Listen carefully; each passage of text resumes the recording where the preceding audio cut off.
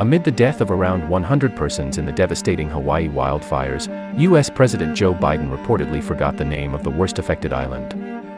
Speaking on rescue and relief efforts, Biden said that Army choppers helped with fire suppression efforts on the Big Island. He then added that by Big Island, he did not mean the one which people see on television all the time.